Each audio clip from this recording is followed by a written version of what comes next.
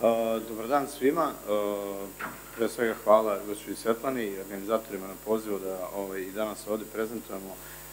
šta je to što radimo, radimo mi. Ja dolazim iz Teza Investa, društvo upravljanja otvorenim investicijnim fondovima sa javnom ponudom i alternativnim investicijnim fondovima. Mi smo danas ovde čuli stvarno ovaj, veliki broj ideja i nekih ovaj, inicijativa koji daju odgovor na to kako pametno investirati, međutim, a, ovaj deo priča u kojim se ja bavim, a to je investiranje na tržištu kapitala, ja moram da budem potpuno iskren da priznam da nemam odgovor na, pitanje kako pametno investirati, s prostog razloga što se više bavim ovom tematikom, ja sam negde sve, sve da je odluka i odgovor na to pitanje onako prilično jedna lična stvar, a, odnosno ako kažemo da ovde ima nas negde 50, da, da možemo da kažemo da imamo i 50 različitih odgovora na pitanje kako pametno investirati kad su u pitanju, kad su pitanju tržišta kapitala. Inače, ovaj, kao što sam već rekao, dolazim iz Inteza Inasta, to je društvo upravljanja investicijnim fondovima, postojimo negde od 2018. godine, organizovani u skladu sa odlukom Komisije za hartije od vrijednosti, za sada onako relativno zadovoljni, postignuti mojih prethodnih šest godina, međutim sa onako jednom ozbiljnom ambicijom, ambicijom za budućnost. Mi smo nezavisno pravno lice, ali kao što pretpostavljate iz naziva, osnovani i u 100% u vlasništvu banki Inteze. Kad pričamo o tržištu investicionih fondova u Srbiji, čisto da pomenem, trenutno postoji šest društva za upravljanje. Oni organizuju upravljaju sa negde 29 otvorenih investicionih fondova i ukupna imovina u ovom trenutku koja se nalazi u svim tim fondovima je nešto preko milijardu, odnosno milijardu i 55 miliona evra. U januaru ove godine smo prešli tu magičnu cifru od milijardu evra. Od toga negde naš deo kolača je oko 34%. Imamo tržišnog učešća upravimo sa nešto preko 360 miliona 360 miliona evra, čak nešto više od 16.000 ovaj, klijenata koji su, nam, koji su nam ukazali poverenje u tom smislu. čisto, onako da dam jedan primer,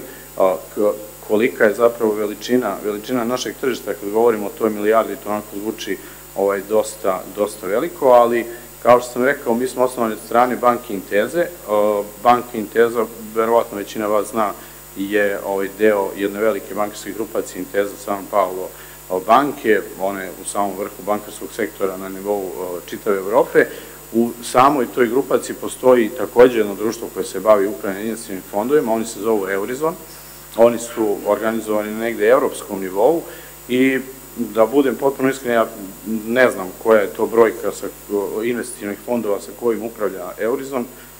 nisam siguran da većina ljudi koji tamo rade zna koliko oni imaju fondova pod upravljanje, a ono što jako dobro znaju, oni u ovom trenutku upravljaju sa negde oko 500 milijardi imovinom ovaj, pod upravljanjem, samo Eurizon kao kompanija čistog primjera radi kolegi iz Eurizona koji e, je stacioniran u Slovačkoj, taj njihov ogranak, oni u ovom trenutku, mi u banci Intezi imamo, u Inteza Invest imamo pet, e, u ponudi pet investičnih fondova, oni upravljaju sa 72 fonda, recimo. Tako da je to pitanje onako jedna, onako, da kažem, ogromno jedno tržište, ne samo na, na, na ovaj evropskom nivou, nego e, kada pričamo o svetskom nivou, to su cifre koje su za nekog normalnog čoveka ovde kod nas deluju prilično nestvarno. Ja, ako mi dozvolite jednu anegdotu, pre, ne znam, nekih desetak dana sam pročitao vest da Warren Buffett, sigurno ste čuli, Warren Buffett, on je čuveni ovaj, svetski investitor, možda jedan od najvećih investitora svih vremena, njegove izjave i njegove, njegovi savjeti o investiranju vrlo često se i na nekim svetskim fakultetima proučavaju. I vest je bila da Warren Buffett prodao 2,1 milijarde akcija Apple-a koji ima u svom vlasništvu. On ima portfolio tu ovaj, akcija nekih velikih firmi i kaže prodaje dve, za to je onako vest koja je prilično odjeknula. Ja sam, pošto nisam tako dugo u ovoj industriji, ja sam jako dugo radio u banci pre toga, meni je to bilo interesantno, ja sad pomislim šta se dešava, jer to Apple ide pod led, neće više biti iPhone-a 22, 23, ovaj, nešto tu nije u redu. I sad mi je bilo interesantno da ja vidim šta je to čoveku ostalo tamo, kad je on prodao 2,1 milijarde akcija ovaj, Apple-a. Nisam imao prilike ranije da vidim koja je to imovina kojom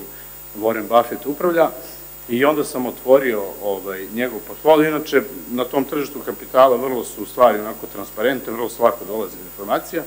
i tu se zgranem jer vidim da i dalje u njegovom portfoliju skoro 50% njegovog portfolija čine upravo akcije kompanije Apple, međutim da sad ta vrednost njegovih, njihovih akcija koje on upravlja, koje on drži u svom posedu, spala sa, ne znam, nekih 174,5 na tričavih 172,4 milijarde dolara. Inače, vrednost celokupnog njegovog portfolija negde oko 350 milijardi dolara, jedan čovjek sa, sa tim ovaj, raspolaže i upravlja u hartijama vrednosti. Tako da, sad kad sam vas izbomrdo informacijama sa ovim, ja ne znam ni koliko tu nula ima u, u, tim ciframa, ova naša ovaj, milijarda otprilike daje, jedna milijarda daje nek, neku sliku tržišta investicionih fondova u Srbiji, ali ja moram da kažem da smo mi onako prilično ponosni na tu milijardu iz prostog razloga što na kraju 2022. godine ukupno imovina u investicionim fondovima bila je nešto oko 540 miliona evra, što znači da smo samo u prethodnoj godini mi rasli zajedno ovo tržište skoro 74%, što je jedan ogroman rast. Ono što mi očekujemo, čemu se nadamo u budućnosti da ćemo još više rasti i da negde ovaj, još više, sve više interesovanja za ovakvu vrstu investiranja, za ovakvu vrstu ulaganja i negde sve veća lepeza proizvoda koja se nudi našim klijentima, s druge strane sve više zahtevi klijenata za, za ovaj, novim proizvodima i novim načinima investiranja. Kada pričamo o investicijnim fondovima, kratko samo definicija investicijnog fonda, ovo je definicija prepisana iz našeg zakona o, o otvorenim investicijnim fondovima sa javnom fondom. ne bih sad citirao zakon, definicija može da stane ovu jednu prostu sličicu koja kaže s jedne strane imamo investitore, oni mogu da budu i fizička i pravna lica, domaća i strana, jednom reču svako ko ovaj, ima želju i ima uh, sredstva koja želi da investira, sredstva se ulažu u investicijni fond, uh, za uzvrat investitori dobijaju investicijone jedinice, a onda investicijni fond sa tim sredstvima raspolaže, odnosno stručnjaci koji radi u investicijnom fondu, koji se zovu portfolio menadžeri i od tih sredstava oni kupuju instrumente na tržištu kapitala, raznoraznih hartija vrednosti, kupuju prodaju, a sve sa ciljem da se ostvari, jel te, neki prihod koji se onda nazad distribuira investitorima ili kako mi to kažemo članovima fonda, tako što se povećava vrednost njihovih investicijnih jedinica i samim tim oni ostvaruju neke prinose. Kada pričamo zašto uopšte ulagati u investicijni fond, tu često se izdvaja ovih šest nekih stavki. Na prvom mestu to je pristup tržištu kapitala, da se razumemo ne samo fizički pristup, danas svako ko ima mobilni telefon može da pristupi tržištu kapitala, postoji ogroman broj aplikacija koji možete da ovaj, skinete, registrujete se i već očera zatrgujete na njujorškoj bezi, ali ne, ne u tom smislu, u, u smislu da u investicijnim fondovima to rade za vas profesionalci, da bi se uopšte učestvovalo na tržištu kapitalu, neophodno je da postoji jedno onako ozbiljno znanje, šta, šta se tu radi, potrebno da postoje i malo ozbiljnija ovaj, neka sredstva, primjera radi, ne znam koliko, koliko je vama poznato to, ali jedna akcija kompanije Nvidia, ona je sad jedna potpunan hit na, na ovaj, svetskom tržištu, naravno zahvaljujući ovaj, razvoju veštačke inteligencije kojim se oni bave, i sad ta veštačka inteligencija u mnogome, to tržište kapitala uopšte određuje šta se tu dešava, a, a jedna akcija Nvidia je nešto ispod 1000 dolara košta, znači da biste kupili jednu akciju morate imate 1000 dolara i imaju sad tu neki troškovi, naravno trgovine, neke ovaj, dodatne tu naknade, a s druge strane imate mogućnost zašto je ovo prednost ulaganja u investicijni fond, naši investicijni fondovi ne ulažu pojedinačne akcije, bar kod nas u Srbiji, ne kupuju pojedinačne akcije nekih tako firmi kao što radi Warren Buffett, nego mi ulažemo u te takozvane indekse akcija, to su skupovi akcije koji treba da prezentuju određene segmente ili određena cela tržišta ili određene segmente tržišta, da ne ulazim sad opet u definiciju indeksa, ali siguran sam da je većina vas čula ili bar videla onu oznaku S&P 500, to je indeks akcija koji predstavlja akcije 500 naj, najvećih američkih kompanija. I vi sad kad bi uložili u naš fond 1000 dinara, pošto naš fond između ostalog ulaže u, taj indeks S&P 500, vi biste s razmenu tih 1000 dinara postali posredno ovaj, jedan mali, mali, ali ovaj, vlasnik uh, upravo 500 najvećih kompanija u Sjedinim američkim državama. Sažem, na taj način je ova prednost uh, koja se naziva pristupište kapitala značajna, a ona s druge strane direktno ovaj, dovodi do ove diversifikacije, jer investicijni fondovi ulažu u veliki broj upravo preko tih i indeksa i ovaj, na različitim sferama, ne samo u Americi, ne samo u Evropi, nego i ostalim delovima sveta, na taj način diversifikuju portfolio, diversifikacija, čak i danas na fakultetu ovaj pojem se objašnjava, ne držite sva jaja u istoj korpi, ali to bukvalno to, to znači služi tome da se umanji rizik tog ulaganja. Profesionalno upravljanje, već sam rekao, portfolio menadžeri upravljaju sa tim novcem i ono što možda je vama ovom skupu danas negde najbitnije ove odlike investicionih fondova, to su fleksibilnost i likvidnost, oni najviše znače investitorima, pravnim licima, iz prostog razloga što tu nema pa skoro nikakvih ograničenja kad je u pitanju ulaganje vi u investicijnom fondu u bilo kom trenutku, dovoljno da imate otvorenu pristup investicijnom fondu, u bilo kom trenutku možete da ulažete, u bilo kom trenutku možete da povlačite uloge, različite visine uloga,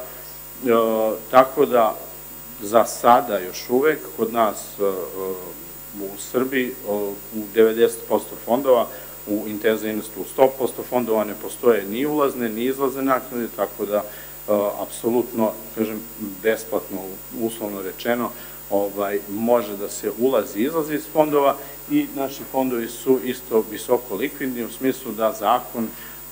dozvoljava do pet radnih dana, odnosno zakon pre svega obavezuje investicione fondove u Srbiji da na zahtev klijenta moraju te investicione jedinice da se otkupe nazad, a ovaj, i daje nam pet radnih dana da se isplate pare od tog otkupa, ali do sada se nijednom nije desilo da taj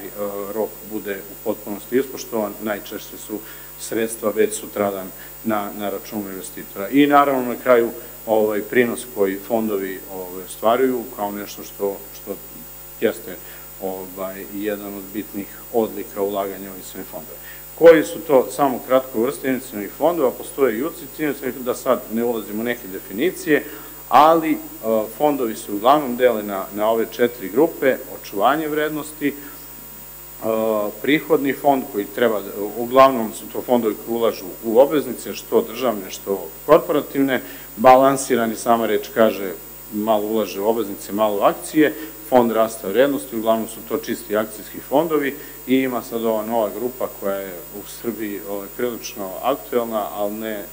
iz nekih drugih razloga, sad ne ulazim u to, on je fond koji može da ulaže u sve što bi vam u ovom trenutku palo na pamet. Znači, prosto je nevjerojatno koja je to lepeza stvari koje, koje može da pokrije ulaganje alternativni fond. Ono čemu bih ja, na čemu bih se danas zadržao definitivno od fonda očuvanja vrednosti, jer je on najvećoj meri namenjen upravo ulaganjem od strane, od strane pravnih lica i najviše namenjen uh, preduzećima. A vidjet ćemo sad kroz ove vrste investicionih fondova, da, pre nego što dođemo do vrste investicionih fondova, a, s početka ovo moje prezentacije, kako zaista pametno investirati, rekao sam vam da odgovor nemam. Iz prostog razloga što svako ko želi da investira, kad je u pitanju tržište kapitala, treba pre svega da ima odgovor na ova tri pitanja. Šta je moj investicioni cilj, koji je investicioni horizont i koji je to investicioni rizik. Kad pričam o investicionom cilju, svakog čoveka investicioni cilj različit, neko želi da ovaj, odvoji sa strane novac da sledeće godine ode na letovanje, neko želi da doživi mirno penziju i da zna da ga ovaj, kada ode u penziju čeka, ne, čekaju neka sredstva koje je akumulirao za života, da, da može da uživa u toj penziji, ili imate Vorena Buffetta koji je čisto hoće da ohrani još neku milijardu u njemu, verujem da je ovo već sad na nivou nekog sportske rekreacije. Investicioni horizont, upravo to period na koji želimo da ulažemo, u velikoj meri je vezan i za ovaj treće pitanje, rizik, jer što se veći rizik prihvata, to je i veći period ulaganja negde preporučen, a ovde dole u samom uglu ovog, ovog slajda su te neke instrumenti tržišta novca, tržišta hartija od vrednosti, koji se od ozdo pa na gore kreću po, po toj rizičnosti ulaganja u njih, a samim tim i potencijalne zarade koje od toga može da se ostvari je, je dosta veća. E sad, ovaj, kao što rekoh, kratko samo o fondovima u, u ponudi Inteza Investa. Ova tri fonda ja neću danas da, da vam predstavim iz prostog razloga što su to nešto rizični fondovi, ulažu što u obveznice, što u akcije. Ono što je interesantno da, da vidite, to su ovi dole grafikoni, kako se kretale u, u nekom prethodnom periodu, zapravo ovo je od osnivanja ovih fondova, kako se kretale vrednosti tih investicijonih jedinica. Ja obično kažem, to je ta, čuli ste vjerojatno izraz volatilnost ili u prevodu EKG čoveka koji ima ozbiljnih srčanih problema, jer da je u pitanju EKG zdravog čoveka, onda tu ne bi bilo ovaj, i neke neizvesnosti i ne bi bilo ovaj, investiranja, bismo znali šta se dešava sa. Međutim, ovaj, ovo je prilično nepredvidivo i tako izgledaju upravo kretanja vrednosti investicionih jedinica kroz vreme a, kod tih, da kažem, nešto više rizičnih. Inače, ovaj treći fond ovde na desnoj strani je najrizičniji, ali on nije toliko ovaj, izražen, zato što je skoro, skoro osnovan i za sada jako, jako lepo radi, ali on je najvolatilniji i tu može svašta se desi. Ono što je karakteristika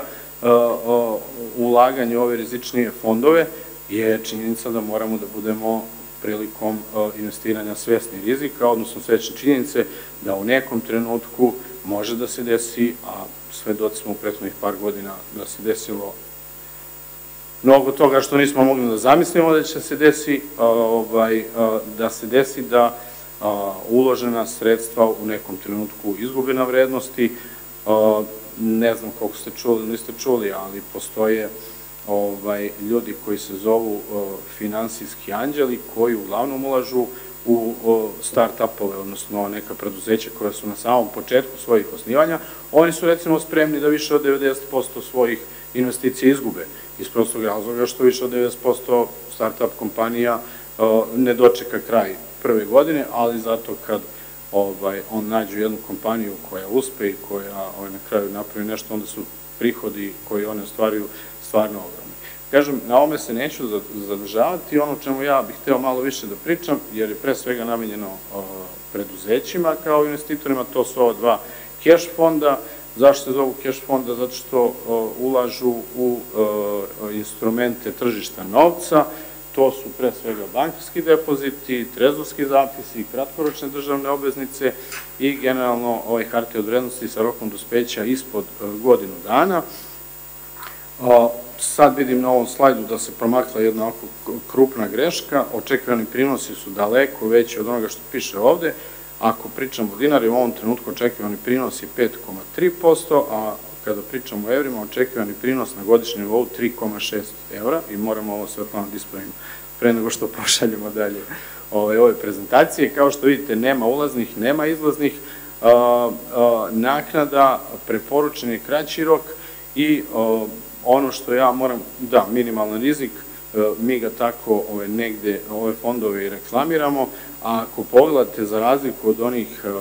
bolesnih EKG-a, uslovno rečeno, vrednost, kretanje vrednosti investicijnih jedinica ovih fondova od početka osnivanja do danas je dosta bez ove volatilnosti i ide samo na gore, odnosno vrednost investicijnih jedinica maltene iz dana u dan raste, Zašto je to tako? Iz prostog razloga što u ovom trenutku stanje na našem tržištu je tako da možemo ulaganjem skoro 90% imovine u depozite kod banaka da ostvarimo ovako dobre prinose i da ostvarimo rast investicijnih jedinica. Da se razumemo, ovi fondovi nisu fondovi koji će omogućiti bilo kome da se obogati, to apsolutno nije ni cilj ovih fondova, zato se i zovu fondovi očuvanja vrednosti, šta su ciljevi kada pričamo o investitorima kao preduzećima, cilj je da se određen višak likvidnosti koji u tom trenutku postoji plasira ove fondove i sačeka eventualno ovaj, ukoliko da li će da iskoči neki novi posao ili neka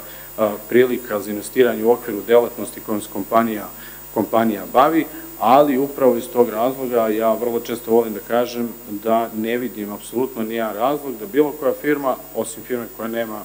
ovaj, možda neku problem sa likvidnošću, da nema pristupnicu u nekom cash fondu, jer ovaj, uh, ako ćemo da uh, u potpunosti uprostimo celu ovu priču, ovi fondovi se ponašaju kao avista računi koji donose uh, prinos na dnevnom nivou, odnosno negde najbliže možemo da ih uporedimo sa onim što je nekada u bankama bilo ovaj, aktualni onaj overnight depoziti. Upravo iz razloga što u svakom trenutku fond može da se uđe, u svakom trenutku može da se izađe. Čak, moram da budem iskren, ovaj, skoro sam čuo kolege iz, kolege iz banke su izračunali da u ovom trenutku takva situacija da se isplati kompaniji da uzme kredit na dve godine i da te pare drži dve godine u fondu i da će da bude u plusu. Znači, ovaj, verovali ne možete i da, da pobedite banku kad je, kad je prinos u pitanju. Tako da, ovaj, to bi otprilike bilo to što se tiče mene. Tu su kontakti za sve dodatne informacije, apsolutno stojimo na, na raspolaganju. Da bi bilo ko postao član fonda, to još samo da kažem, bilo koja ekspozitura banking teza, sve ekspoziture banking teze distribuiraju naše fondove i naravno uvek se možete obratiti nama na, na ovaj, ove adrese. Eto, toliko, hvala vam.